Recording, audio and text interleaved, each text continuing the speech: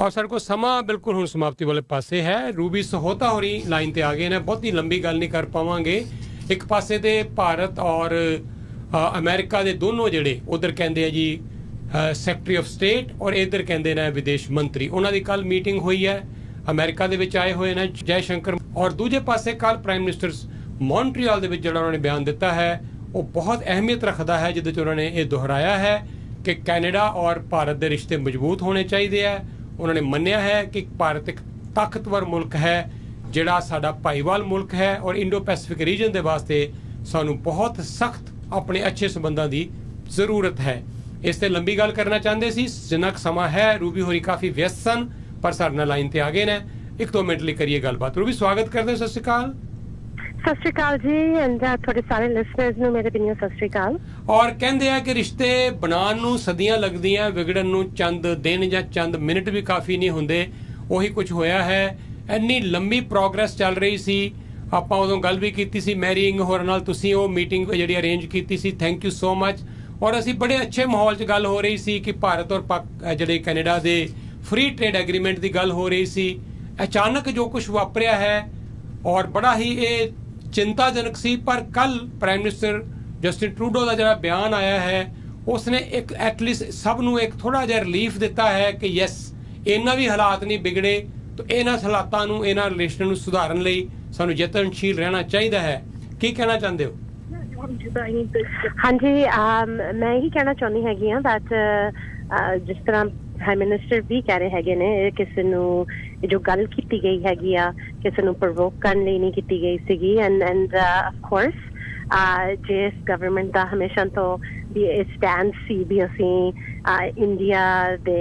uh, India ਨੂੰ you know ਸਾਡੀ ਕੋਈ ਪ੍ਰੋਬਲਮ ਹੈਗੀ ਇੰਡੀਆ ਦੇ ਨਾਲ ਦੈਟਸ ਬਿਲਕੁਲ ਉਹ ਸੱਚ ਨਹੀਂ ਹੈਗੀ। ਗੱਲ ਕਿਉਂਕਿ ਨਹੀਂ, ਅਸੀਂ ਇੰਡੋ ਕੈਨੇਡੀਅਨ ਸਟ੍ਰੈਟਜੀ ਕਿਉਂ ਫਾਰਮ ਕਰਦੇ ਰਾਈਟ ਸੋ ਗਵਰਨਮੈਂਟ ਦਾ ਬਹੁਤ ਕੰਮ ਇਸ uh, ਏਰੀਆ ਦੇ ਵਿੱਚ ਲੱਗਿਆ ਹੋਇਆ ਕਾਫੀ ਟਾਈਮ ਤੋਂ। ਵੀ ਜਿਹੜੇ ਰਿਲੇਸ਼ਨਸ ਨੇ ਜੋ ਟ੍ਰੇਡ ਆ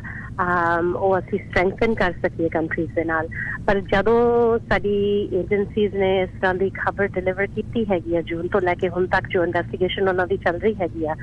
you know we cannot deny that issue as well. Uh, so I ਜਦੋਂ ਵੀ ਕੋਈ ਦੋ ਡੈਮੋਕ੍ਰੇਸੀਜ਼ ਹੈਗੇ ਨੇ ਜਿਸ ਤਰ੍ਹਾਂ ਤੁਸੀਂ ਕਿਹਾ ਹੈਗਾ ਜਿਹੜੇ ਸੰਬੰਧ ਦੋ ਦੇਸ਼ਾਂ ਦੇ ਵਿੱਚ ਹੁੰਦੇ ਆ ਜਿਹੜੀ ਸੱਚੀ ਗੱਲ ਹੈਗੀ ਆ ਉਹ ਤੋਂ ਅਸੀਂ ਮੁੜ ਵੀ ਨਹੀਂ ਸਕਦੇ ਹੈਗੇ ਨਾ ਅਸੀਂ ਇਹੀ ਚਾਹੁੰਦੇ ਹੈਗੇ ਆ ਵੀ ਇੰਡੀਆ ਦੀ ਸਰਕਾਰ ਵੀ ਕੋਆਪਰੇਟ ਕਰੇ ਇਸ ਇਨਵੈਸਟੀਗੇਸ਼ਨ ਦੇ ਵਿੱਚ ਸੋ ਦੈਟ ਜਲਦ ਤੋਂ ਜਲਦ ਜਿਹੜੀ ਹੈਗੀ ਆ ਚਾਰजेस ਐਂਡ ਟ੍ਰਾਇਲ ਸ਼ੁਰੂ ਹੋ ਸਕੇ because we have very sensitive you know sensitive security intelligence and uh, that was our hope and uh, ਪਿਛਲੇ ਸਮਰ ਦੇ ਵਿੱਚ ਵੀ ਜੋਡੀ ਟਾਮਸ ਜੋ ਆਪਣੀ ਨੈਸ਼ਨਲ ਸਿਕਿਉਰਿਟੀ ਐਡਵਾਈਜ਼ਰ ਆ ਉਹ ਇਸ ਰੀਜ਼ਨ ਲਈ ਹੀ uh, ਇੱਕ ਬੜੇ ਡਿਪਲੋਮੈਟਿਕ ਤਰੀਕੇ ਦੇ ਨਾਲ ਉੱਥੇ ਦੋ ਵਾਰ ਗਈ ਹੈਗੀ ਆ ਸੋ ਦੈਟ ਇਸ ਇਸ਼ੂ ਨੂੰ ਅਸੀਂ ਰਿਜ਼ੋਲਵ ਕਰ ਸਕੀਏ ਇੰਡੀਆ ਦੀ ਹੈਲਪ ਦੇ ਨਾਲ। And we you know we are really want to thank ਜਿਹੜੇ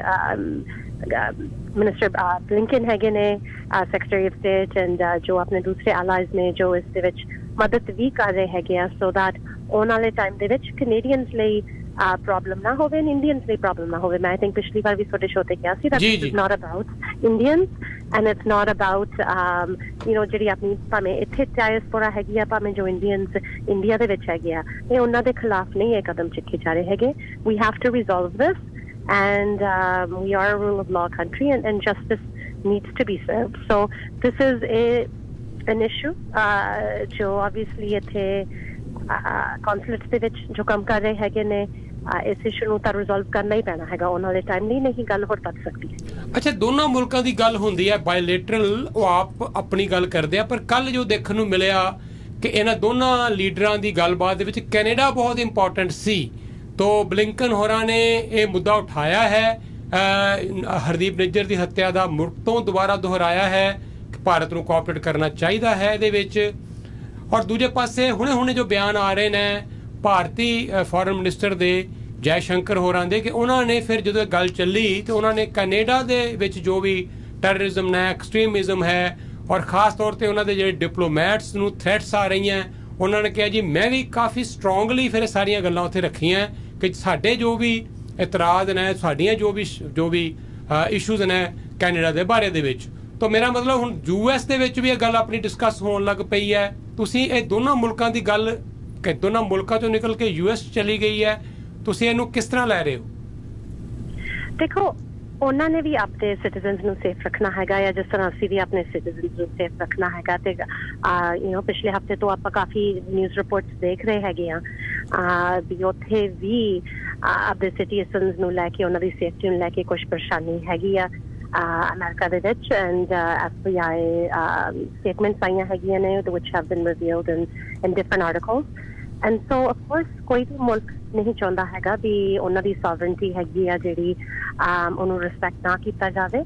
so we are hoping that ਇਹ ਪ੍ਰੋਬਲਮ ਨੂੰ ਆਉਣ ਵਾਲੇ ਟਾਈਮ ਦੇ ਵਿੱਚ uh, you know, ਨਾ ਆਵੇ we're not looking to grow the problem we're looking to resolve the problem ਠੀਕ ਹੈ and I think ਇਹ like minded countries ਸਾਰੇ ਹੀ similar feel ਕਰਦੇ ਹੈਗੇ ਆ ਕਿਉਂਕਿ ਜੋ ਕੈਨੇਡਾ ਦੇ ਵਿੱਚ ਹੋਇਆ, ਉਹ ਯੂ ਕਿਤੇ ਹੋਰ ਵੀ ਹੋ ਸਕਦਾ ਹੈਗਾ ਆ। Ruby thank you so much ਔਰ ਬਹੁਤ ਸਾਰੇ ਲੋਕ ਕਾਲ ਕਰ ਰਹੇ ਨੇ ਲਗਾਤਾਰ। ਕਿਸੇ ਦੀ ਸ਼ਾਦੀ ਹੈ, ਇੱਕ ਨੌਜਵਾਨ, ਉਹਦੀ ਸ਼ਾਦੀ ਹੈ, ਉਹਨੇ ਹੁਣੇ ਹੁਣੇ ਸਿਟੀਜ਼ਨਸ਼ਿਪ ਲਈ ਸੀ। ਨਵੰਬਰ ਚ ਵਿਆਹ ਜਾਣਾ ਹੈ, ਉਹਦੇ ਮਾਪੇ ਪਿੱਛੇ ਚਿੰਤਤ ਨੇ, ਸਾਡੇ ਫੈਮਿਲੀ ਫਰੈਂਡਸ ਨੇ। ਕਿਸੇ ਦੀ ਡੈਥ ਕੇਸ ਹੈ ਐਮਰਜੈਂਸੀ ਵੀਜ਼ੇ ਬੰਦ ਹੋ ਗਏ ਹੈ। ਤਾਂ ਲੋਕਾਂ ਦੀਆਂ ਆਪਣੀਆਂ ਵੱਖਰੀਆਂ ਪ੍ਰੋਬਲਮਸ ਨੇ। ਸਰਕਾਰਾਂ ਦੀਆਂ ਪ੍ਰੋਬਲਮ ਇੱਕ ਪਾਸੇ ਨੇ, ਪਰ ਲੋਕਾਂ ਦੀਆਂ ਜਿਹੜੀਆਂ ਆਪਣੀਆਂ ਪ੍ਰੋਬਲਮ ਉਹ ਵੀ ਇੱਕ ਪਾਸੇ ਨੇ। ਅਸੀਂ ਵੀ ਤੁਹਾਨੂੰ ਇਹੀ ਅਪੀਲ ਕਰਨਾ ਚਾਹੁੰਦੇ ਹਾਂ ਤੁਸੀਂ ਵੀ ਲੋਕਾਂ 'ਚ ਵਿਚਰਦੇ ਹੀ ਹੋ ਵੈਸੇ ਸਾਡੇ ਤੋਂ ਬਾਅਦ ਤੁਸੀਂ ਵੀ ਜਾਣਦੇ ਹੋ ਕਿ ਕਿਸ ਤਰ੍ਹਾਂ ਲੋਕ ਇਸ ਲਈ ਪਰੇਸ਼ਾਨ ਨੇ ਇਹ ਸਾਰੇ ਹਾਲਾਤਾਂ ਨੂੰ ਲੈ ਕੇ। ਅਸੀਂ ਵੀ ਤੁਹਾਨੂੰ ਲੋਕਾਂ ਦਾ ਸੁਨੇਹਾ ਇਹੀ ਦੇਣਾ ਚਾਹੁੰਦੇ ਹਾਂ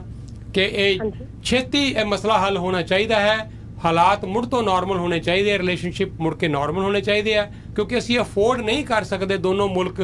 2 ਮਿਲੀਅਨ ਲੋਕ ਵਸਦੇ ਆ ਭਾਰਤੀ ਮੂਲ ਦੇ ਇੱਥੇ। ਅਸੀਂ ਬਹੁਤ ਵੱਡਾ ਡਾਇਸਪੋਰਾ ਆ ਤੇ ਇਹ ਕਦੇ ਵੀ ਨਹੀਂ ਹੋ ਸਕਦਾ ਕਿ ਅਸੀਂ ਸਬੰਧ ਖਰਾਬ ਕਰਕੇ ਬੈਠ ਜਾਈਏ। तो let us all keep trying to make these relationship better and better. Yes, ਅੱਜ ਪ੍ਰਾਈਮ ਮਿਨਿਸਟਰ ਬ੍ਰੈਂਟਨ ਵੀ ਆਏ ਸੀਗੇ ਸੋ ਉਹਨਾਂ ਨੇ ਇੱਕ ਸਰਪ੍ਰਾਈਜ਼ ਵਿਜ਼ਿਟ ਬ੍ਰੈਂਟਨ ਦੇ ਵਿੱਚ ਕੀਤੀ ਹੈ ਕਿ ਆ ਆਪਣੇ ਭਾਈਚਾਰੇ ਦੇ ਨਾਲ ਗੱਲਬਾਤ ਕਰਨ ਨੂੰ ਯੂ نو ਜਸਟ ਰੈਂਡਮਲੀ ਕੁਝ ਹਿੰਦੂ ਕਮਿਊਨਿਟੀ ਦੇ ਲੋਕ ਸੀ ਸਿੱਖ ਕਮਿਊਨਿਟੀ ਦੇ ਔਰ ਹੋਰਾ ਕਮਿਊਨਿਟੀ ਦੇ ਵੀ ਕੁਝ ਥੋੜੇ ਜਿਹੇ ਲੋਕ ਸੀਗੇ and uh, you know he he wanted to ask and see what uh, is on the minds ਵੀ ਲੋਕ ਸੋਚ ਰਹੇ ਹੈਗੇ ਆ ਕਿਸ ਤਰ੍ਹਾਂ ਫੀਲ ਕਰ ਰਹੇ ਹੈਗੇ ਅੱਜ ਕੱਲ ਸੋ that visit went really well and I will take your advice. I know ਅਸੀਂ ਆਪਣੇ ਕੰਸਟੀਚੁਐਂਟਸ ਨੂੰ ਸਰਵ ਕਰਨਾ ਇਸ ਸਟੈਂਡ ਸੇ ਸਟੈਪ ਜੋ ਹੈ ਕੈਨੇਡਾ ਨੇ ਨਹੀਂ ਲਿਆ ਹੈਗਾ ਇੰਡੀਆ ਨੇ ਲਿਆ ਹੈਗਾ have to remember that and uh,